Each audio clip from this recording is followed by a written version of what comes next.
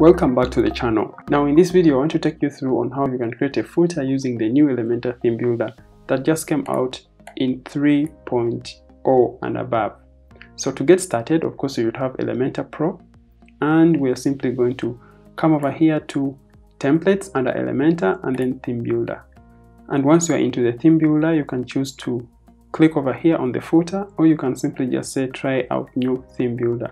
In this case let's go to footer section and we can say add a new footer and we can name this to be our footer so we can say create footer template. Now this will take you straight into the elementor footer library since you are a pro user. And uh, for me at the moment i will not use a pre-made template so we'll simply just start something from scratch. So i'm going to close this up and here i am. We already have our header and we are simply going to add a footer so let me first close up my navigation. I'm going to add a new section and i'm going to add it to have three columns. So i'll simply just say add it with three columns. And we are going to add our footer with a couple of things. For example we're going to add a footer navigation the site copyright info and about a dummy testimonial and an opt-in so we're going to simply just add first a text widget. So we're going to come over here grab our text widget one. Uh, a dummy testimonial widget just one testimonial widget. And maybe an opt-in form. We can just come over here and say uh, form. So we can just add this over here now we have our form our dummy testimonial and our about section. Next what we're going to add is we're going to simply create something else and this is going to be like an inner section that we are going to add below here that will actually display our footer navigation and also our copyright info. So we're going to add a new section and inside that section we're going to add an inner section. So we come over here grab an inner section boom so there we have an inner section. Duplicate this inner section. And now that means we'll have two other columns below. So those two other columns below will be holding our copyright info and our footer navigation. And up here we're going to simply just duplicate this other section in the first inner section. So we're going to duplicate or add a new column. So i'm now going to grab my widgets into the other column and this other column and this other column. Now I'll delete the first section that we had created.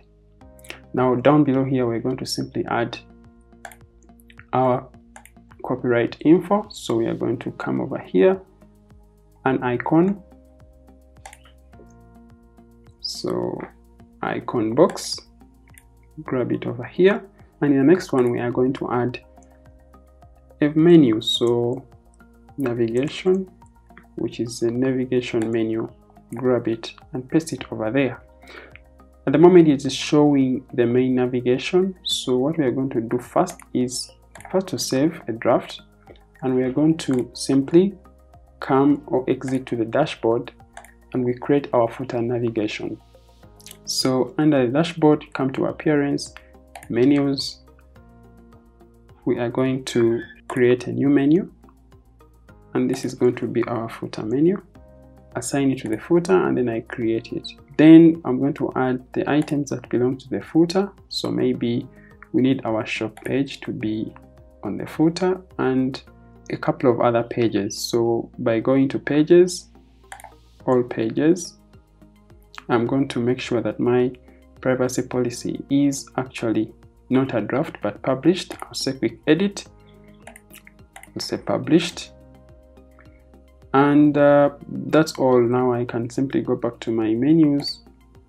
One I'm going to add my privacy policy page and my shop page and the sample page. And I'll rename my sample page to let me say terms page. Terms. Something like that. Then you can have your shop page come first privacy policy or the terms. And you're good to go. I'll simply now save.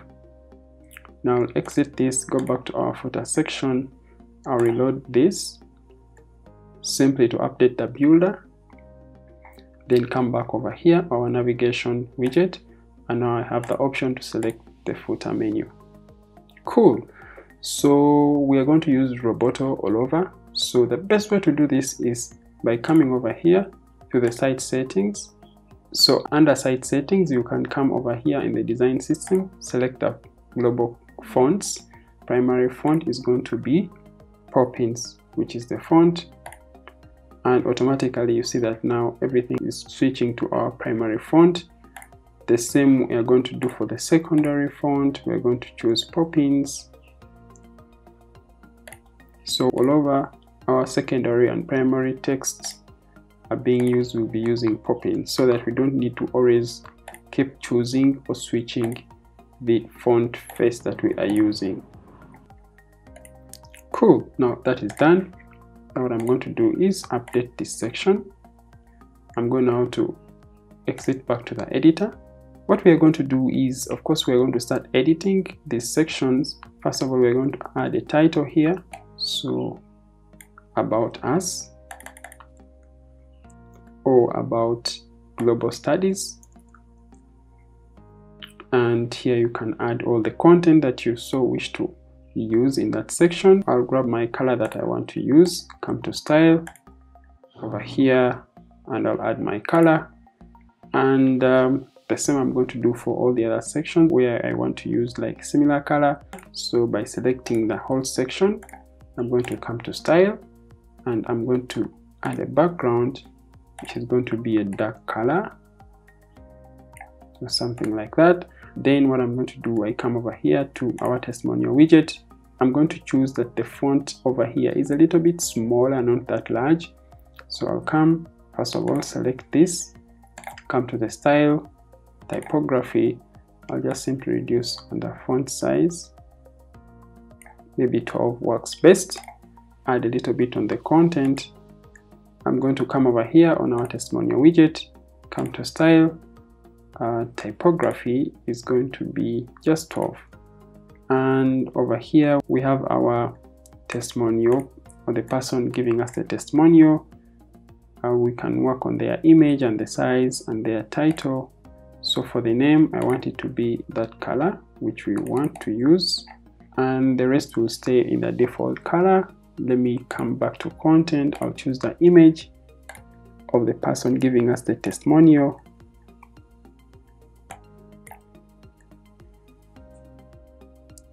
once the image is uploaded I'll simply just add it over there.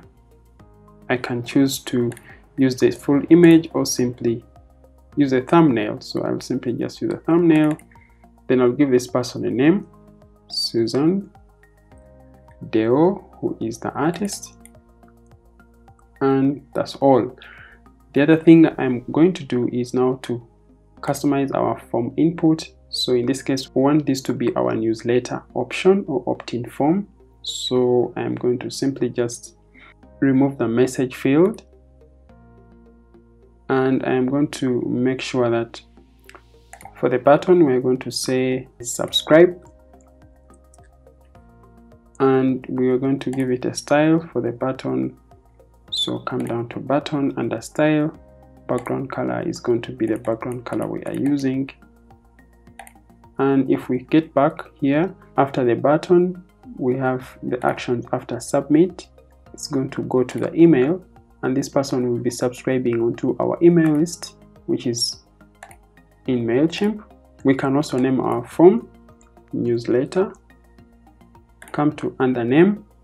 We can say the type is text and label. Label will be name. If we leave these as they are, the labels we can simply just come over here and we don't show the labels. Something just like this. Or we can simply just also say we only want to collect the emails without necessarily collecting the names. But now I'll leave it just at that. Now we have done setting up our opt-in form. The actions after submit it will go to MailChimp and over here you link up your MailChimp API key. So by simply adding over here your MailChimp API key simply copy it from MailChimp. I have a specific tutorial on that and you can check it down in the description box below. So back to our section over here, we're going to give it some padding. So I'm going to select this whole inner section come to advanced padding and we are going to give it a padding for top bottom so i'm going to unlink give it a padding of 20 on the top or let me say 30 and also bottom we're going to give it a padding of 30 then down below here we are going to add our copyright information by selecting this. Come over here to the icon and i'm going to grab a copyright sign which is this. So copyright symbol i'm going to add over here global studies in 2020 and i'm going to come to the style option. And under style i'm going to come to our icon give it the color that we want to use uh, we're going to reduce its size. And under content remember we can align this icon to be on the right. That's where we want it to be. And now when we come back to the style option we can increase or reduce the spacing before or after and even the size of the icon. So we want it to be small something like that. Then for the content we can reduce of course the size of the content. So under typography and we simply want to have our content in white. So under typography we are going to reduce the title to be something very small just like that. I think 12 works best. And we will use the same font size even for these other items. So for the content we're not going to have content. So we're going to come back here to content and we'll delete everything that is under content because we don't need or we won't have any content now we come to the other section. So we're going to select our navigation. Come to style. We're going to change the color of this. Is going to be white completely. And the typography is going to be just 12 just to the size of this other. And then we are going to make sure that this menu doesn't drop down for example on the tablet we don't want to drop down like as it's appearing the same for mobile. So to do that we are simply just going to come back here to the desktop or any device you choose and you are going to make sure that for the under content scroll down to mobile drop down say none. So when you say none and we go to mobile it will stay as a complete footer menu just like you see over here. Even for the tablet that's how it will look like. Now what we are going to do is now to remove the padding the styles and everything for this menu. I'm going to select this. I'm going to come to the style. We're going to come to the pointer and say none. We don't want to have a pointer for these menu items. And we're going to align it to the left so that it's basically at the other end. So we're just going to leave it as it is. And then for this first section we're going to select the column vertical align we're going to make it to be in the middle. Even for the other section we're going to vertically align everything in a middle. Now when we preview this on tablet looks good. Mobile looks good. Now we can preview this. Uh, it looks fine the padding the information the testimonials and also our opt-in form looks good and the last footer copyright notes for mobile looks fine for tablet too and also looks fine on the desktop. So that's all for now how we can create our footer using the new Elementor theme builder. What we need to do is now to publish our footer. And before we actually do publish under publish we're going to add a condition and we want it to display on the entire website.